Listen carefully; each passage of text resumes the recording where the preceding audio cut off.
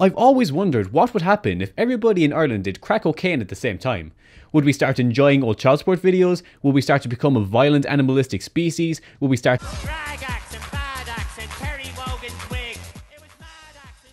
This is worse than I could have ever imagined.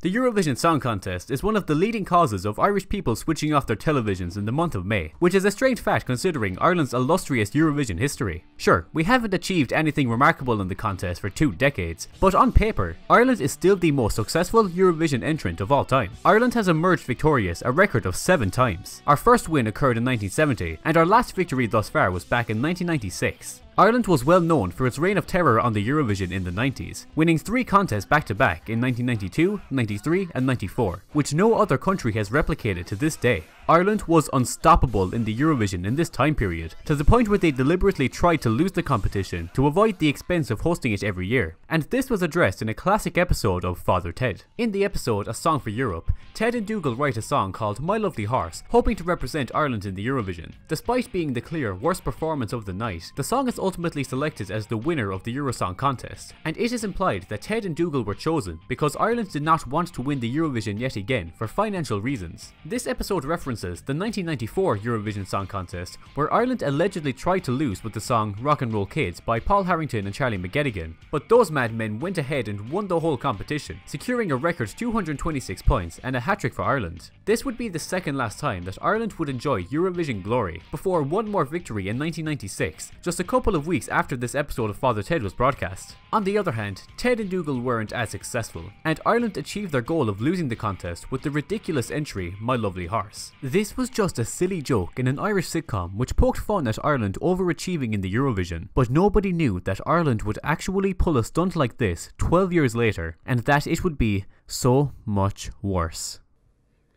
You know, I was just about to utter the words, Ireland sent Dustin the Turkey to the Eurovision in 2008, but I think I experienced PTSD as soon as I remembered it. We have definitely had better ideas, and please do not ask me what we were smoking back in 2008. But this is one of Ireland's most iconic Eurovision performances, because it marked the point where we essentially cancelled the Eurovision. We have already discussed Ireland's Eurovision dominance in the 90s, with an impressive track record of first, first, first, 14th, first, and second, before the era of mediocre results, the year that we stopped giving a fuck, and the current decade where we failed to qualify four years in a row. Ireland's stranglehold on the Eurovision is a distant nostalgic memory at this point, and it leaves us wondering what went wrong along the way. After peaking in the 90s, Ireland gradually fell from grace throughout the years, until they hit rock bottom with a last place finish in 2007. It was clear that there was no hope for us at this point, and we knew that our previous success would remain in the past for all eternity. So in 2008, everybody in the country collectively lost their minds, and we gave a huge middle finger to the Eurovision by sending Dustin the Turkey to represent Irish music on an international stage. Now, if you're lucky enough not to be from Ireland, you may be confused at our decision to send a mechanical turkey instead of an up and coming talented musician. But let's just put this in context. Ireland was almost torn apart by a country singer not coming to Croke Park in 2014. Ireland accidentally legalised ecstasy and crystal meth in 2015. And Dustin the Turkey himself campaigned to become the President of Ireland.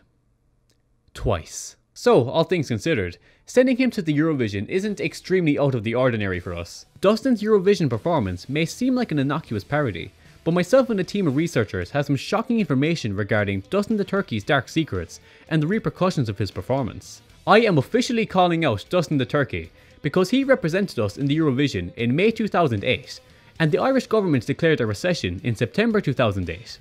And I think that is no coincidence. Some members of my team have accused Dustin the Turkey of committing tax fraud, trying to legalise yokes, and being a member of the IRA. But there's no concrete evidence to back up these claims just yet. However, the point stands that Dustin the Turkey performing in the Eurovision was Ireland's biggest bruh moment, and probably one of the darkest points in Irish history. It wasn't a completely nonsensical decision though, because Dustin the Turkey actually has some musical experience under his belt. He has released six albums with fan favourite hits such as where Do You Go To? You're Ugly, Don't Blame the Culchies, and Patricia the Stripper. None of these albums are good, so nobody was expecting a winning performance from Dustin in the Eurovision. And we were right. Dustin performed a brand new single, Irelande Douze Pointe, where he essentially spent 3 minutes in a trolley shouting, Give Ireland 12 points, which nobody did. If you're looking for genuinely entertaining music, I'm not sure if this is the right choice, but if you want to simulate the experience of having a stroke, then I cannot recommend it enough. Looking back on this disaster, it's actually amusing how a seven time winner of the contest stopped caring about having a reputation, so we sent a novelty act to protest against this circus of a competition, while making ourselves look like the clowns. Ireland could have been a normal country in 2008, and we could have sent an actual musician, but we just had to be smart, and look where that got us. But in retrospect, it makes sense that Ireland would send a joke entry, because the Eurovision Song Contest is a complete farce, and good performances are few and far between. Sending Dustin the Turkey was a rebellious move, because historically, Ireland is very good at rebellions. Refusing to take part in the contest properly was an act of defiance, and it definitely wasn't out of spite because we're bitter that we're never going to win it again. Boycotting the Eurovision has become a global trend this year though, and I have never been a big fan of the contest myself, so I think I should support the cause. I will protest against the Eurovision by refusing to watch RTE ever again, and I will never give up no matter what they put on that television.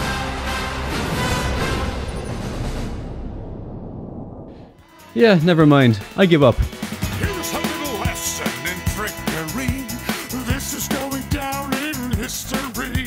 If you wanna be a villain number one, you have to chase a superhero.